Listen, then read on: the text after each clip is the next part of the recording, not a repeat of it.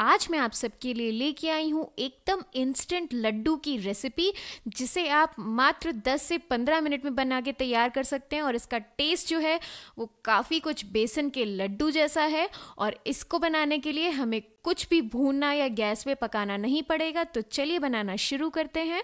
तो सबसे पहले हमने यहाँ ली है भुनी हुई चने की दाल। इसको कई जगह पे दालिया भी बोला जाता है और ये रेडीमेड मिलती है मार्केट में। आप घर पे नहीं भुनिएगा चने की दाल, इस तरह से नहीं भुनेगी। और ये हमने ली है 250 ग्राम। तो सबसे पहले हमने ले लिया है एक मिक्सर जार इसके अंदर हम आधी दाल डालेंगे। पूरी दाल एक साथ मत पीसिएगा, वरना क्या होगा, बड़े टुकड़े रहने के चांसेस ज़्यादा होते हैं। तो आधी आधी करके इसको दो बार में आप बारीक फाइन पाउडर में पीस लीजिए।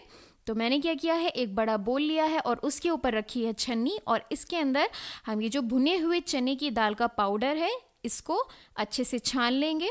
आप चाहें तो जो थोड़ी मोटी वाली छन्नी आती है, आप उसे यूज़ कर सकते हैं। उससे क्या होगा, ये जो लड्डू हैं, वो थोड़े से दरदरे बनेंगे।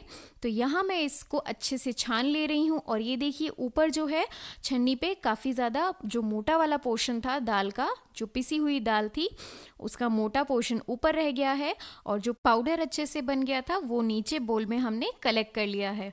तो ये देखिए, ये लग रहा है ना बेसन की तरह और ये काफ़ी दरदरा हमने बना के तैयार किया है। आप चाहें तो बिल्कुल फाइन भी इसको पीस सकते हैं और इसी तरह से हम जो दूसरा बैच है, चने की दाल का, भुने हुए चने की दाल का, उसे भी पीस के पाउडर कर लेंगे और छान लेंगे।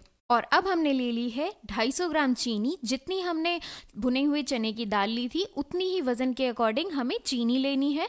आप चाहें तो थोड़ी कम कर सकते हैं अगर आप कम मीठा खाते हो। और अब एक मिक्सर जार में इसको हम फाइन पाउडर बना के तैयार कर लेंगे। और इसमें हम डालेंगे एक चौथाई छोटा चम्मच इलायची के दाने। इलायची के दाने चीनी के साथ पीसने से क्या होता है? ये अच्छी तरह से पिस जाते हैं और अब हम इसका फाइन पाउडर बना लेंगे। और हाँ इलायची डालना ऑप्शनल है, आप चाहें तो इसे स्किप कर सकते हैं। तो चीनी हमने अच्छे से पीस ली है। आप चाहें तो जो पहले से पिसी हुई चीनी या बूरा आता है, वो ले सकते हैं। तो ये चीनी और इलायची का पाउडर बनके तैयार है। अब हम इसको जो हमने भुनी हुई दाल का पाउडर बना के रखा था, उसके अंदर मिक्स कर देंगे। और अब इसके अंदर हमें थोड़ा थोड़ा करके घी डालना है। यहाँ मैंने पिघला हुआ घी यूज़ किया है। इस चीज़ का ध्यान रखें कि आपको जो जमा हुआ, जो थोड़ा सा थिक घी होता है, वो यूज़ नहीं करना है। अगर आपके पास मेल्ट घी नहीं है तो आप उसको थोड़ा सा गैस पे पिघला लें और उसके बाद ही इसके अंदर थोड़ा थोड़ा करके ऐड करें। स्टार्टिंग में मैंने चार से पाँच चम्मच घी डाला था और अब मैं इसके अंदर एक एक दो दो चम्मच करके ही घी डालूँगी। इससे क्या होगा? घी जो है, वो बहुत ज़्यादा नहीं होगा। हमें घी इसके अंदर तब तक ऐड करना है जब तक ये बाइंडिंग कंसिस्टेंसी में नहीं आ जाता। अगर आप इतना घी नहीं डालना चाहते हैं तो स्टार्टिंग में दो से तीन चम्मच घी डालिए और उसके बाद आधा आधा चम्मच करके बॉयल करके ठंडा किया हुआ मिल्क ऐड कीजिए इसके अंदर।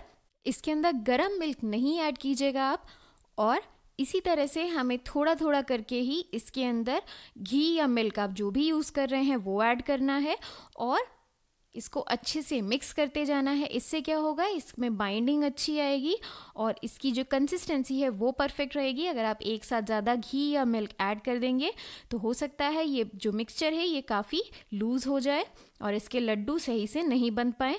तो ये हमने अच्छे से मिक्स कर लिया है। अब ये जो मिक्सचर है, ये बाइंडिंग कंसिस्टेंसी में आ गया है। यानी कि ये लड्डू बनाने के लिए बिल्कुल रेडी है। बस अब इससे ज़्यादा घी हम इसके अंदर नहीं ऐड करेंगे। और ये जो हमारा मिक्सचर है, बिल्कुल रेडी है। तो मैं इससे आपको ये लड्डू बनाने दिखा देती हूँ। इस तरह से मैंने थोड़ा सा पोर्शन हाथ में लेके और इस तरह से इसको बाइंड करना शुरू कर दिया है। बेसिकली हम इसे लड्डू का शेप दे रहे हैं, गोल। और इसी तरह से अच्छे से प्रेस करते हुए, क्योंकि हमने इसके अंदर कुछ चाशनी वगैरह नहीं यूज़ की है तो इसी वजह से इसको थोड़ा सा प्रेशर से इसी तरह से प्रेस करते रहें। जब तक ये लड्डू की शेप में नहीं आ जाए और जब ये लड्डू की शेप में बंध जाए, उसके बाद हमें क्या करना है? दोनों हथेलियों के बीच में बहुत ही हल्के हाथ से इसको रोल कर देना है, जिससे कि ये ऊपर से बिल्कुल स्मूथ हो जाएगा। अगर इस स्टेज पे आपको लग रहा है कि घी ज़्यादा हो गया है या मिल्क ज़्यादा हो गया है तो आप इक्वल क्वांटिटी में चीनी और जो भुनी हुई दाल है जो आ, हम लोगों ने स्टार्टिंग में यूज़ की थी वो इक्वल क्वांटिटी में पीस के अच्छे से और इसके अंदर ऐड कर सकते हैं जिससे कि क्या होगा ये मिक्सचर थोड़ा सा बंधना शुरू हो जाएगा। और हाँ अगर आप उस तरह से इसकी कंसिस्टेंसी एडजस्ट कर रहे हो तो इस चीज़ का ध्यान रखिएगा कि एक साथ बहुत ज़्यादा पाउडर नहीं ऐड कर दीजिएगा। थोड़ा थोड़ा करके ही बस इक्वल पोर्शंस में ऐड करना है, इस चीज़ का ध्यान रखिएगा। तो इसी तरह से हम दूसरा लड्डू भी बना ले रहे हैं। इसको अच्छे से प्रेस करते हुए लड्डू का शेप दे लेना है हमें, जब तक ये अच्छे से बाइंड नहीं हो जाता है। और बाइंड होने के बाद हमें हल्के हाथों से इसको इस तरह से रोल कर देना है दोनों हथेलियों के बीच में जिससे कि ये बहुत ही बढ़िया तरह से स्मूथ हो जाएगा ऊपर से। तो ये देखिए दूसरा लड्डू भी हमारा बन के रेडी है। आई I मीन mean, तीसरा लड्डू एक मैं पहले ही बना चुकी हूँ। तो इसी तरह से हम बाकी के लड्डू भी बना के तैयार कर लेंगे। तो ये देखिए, हमारे जो लड्डू हैं बन के रेडी हैं। हमने 250 ग्राम भुनी हुई चने की दाल और 250 ग्राम चीनी ली थी और इसमें लगभग 20 लड्डू बन के तैयार हुए हैं मीडियम साइज़ के। और ये देखिए, कितने बढ़िया लड्डू बने हैं। ये खाने में बहुत ज़्यादा बेसन के लड्डू जैसे हैं और आप इनको बना के ज़रूर ट्राई कीजिए। आपको हमारी आज की रेसिपी कैसी लगी, हमें कमेंट सेक्शन में ज़रूर बताएँ और अगर रेसिपी अच्छी लगी हो तो इसे लाइक और शेयर करें और हमारे चैनल को सब्सक्राइब करना ना भूलें। मिलते हैं हमारी अगली रेसिपी वीडियो में। तब तक के लिए बाय हैप्पी कुकिंग